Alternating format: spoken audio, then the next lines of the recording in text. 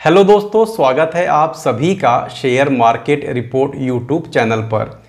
दोस्तों, आज के वीडियो के अंदर हम लोग बात करने जा रहे हैं रेमंड लिमिटेड के बारे में। और दोस्तों, आज के इस वीडियो के अंदर हम इस कंपनी से संबंधित बहुत सारे अपडेट भी देखेंगे।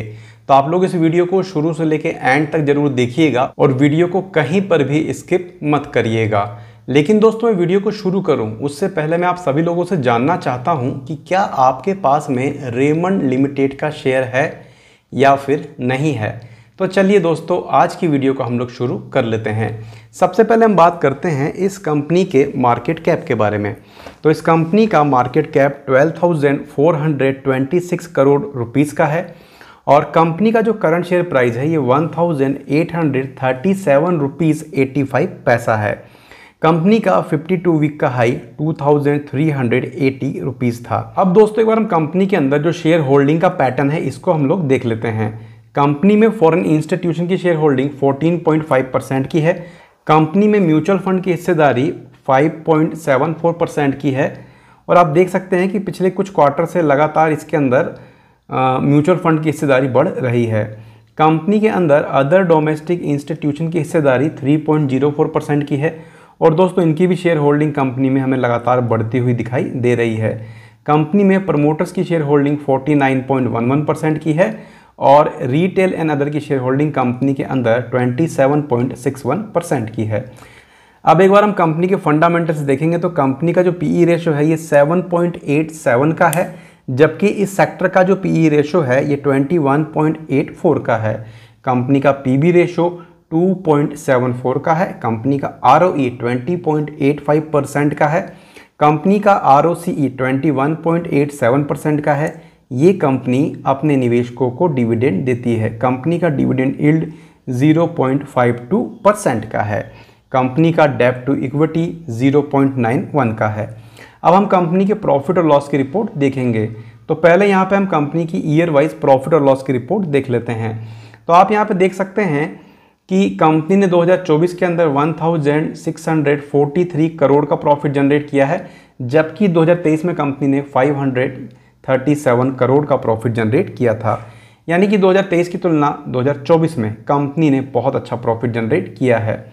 अब एक बार हम कंपनी की क्वार्टर वाइज प्रॉफिट लॉस की रिपोर्ट देख लेते हैं। तो हम यहाँ पे ये पाते हैं कि जून 2024 में कंपनी ने 7,367 करोड़ का प्रॉफिट जनरेट किया है जबकि जून 2023 में कंपनी ने 1,067 करोड़ का प्रॉफिट जनरेट किया था। यानी कि जून 2023 की तुलना जून 2024 में कंपनी ने बहुत अच्छा प्रॉफिट जनरेट किया है।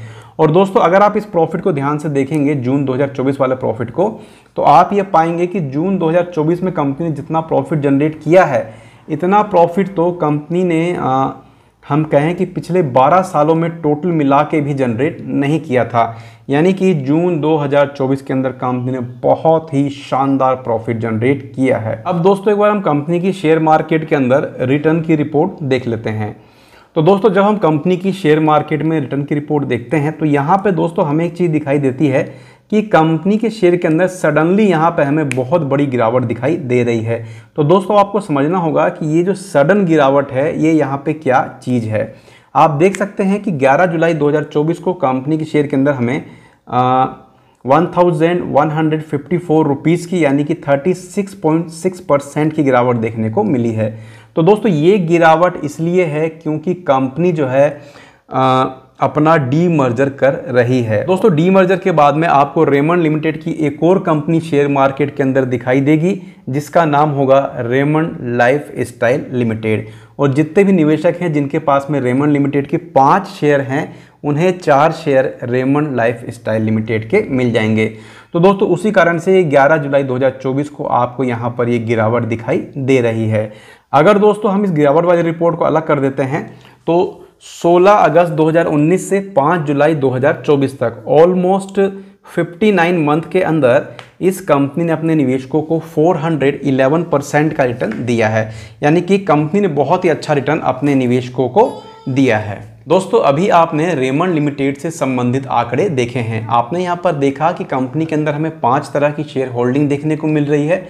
कंपनी का पी पीई रेशो अच्छा है। कंपनी अपने निवेशकों को डिविडेंड भी देती है और कंपनी का डेप्ट टू इक्विटी हमें लो देखने को मिल रहा है। अब दोस्तों, चाहे बात करें क्वार्टर वाइज या ईयर वाइज, दोनों के ही अंदर कंपनी बहुत अच्छा प्रॉफिट जनरेट कर रही है और कंपनी ने जून 2024 के क्वार्टर में जितना प्रॉफिट जनरेट किया है, इतना प्रॉफिट तो कंपनी ने पिछले 12 सालों के अंदर मिलाकर भी जनरेट नहीं किया था। तो ये कंपनी को पॉइंट ऑफ़ व्यू से एक बहुत ही अच्छी बात है, लेकिन आपको इस चीज़ को भी डीपली रिसर्च करना चाहिए। अगर दोस्तों हम बात करें कंपनी की शेयर मार्केट के अंदर रिटर्न के बारे में तो हम यहाँ पे ये पाते हैं कि कंपनी जो है एक बहुत ही अच्छा रिटर्न अपने निवेशकों को दे रही है।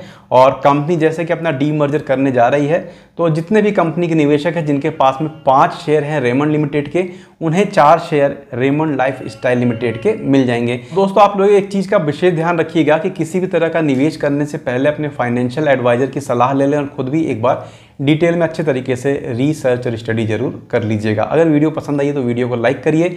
आप लोगों ने वीडियो को यहाँ तक देखा इसके लिए आप सभी लोगों का बहुत बहुत धन्यवाद। मैं आपसे बहुत जल्दी मिलूँगा एक और नए वीडियो में। जब तक लिए टाटा।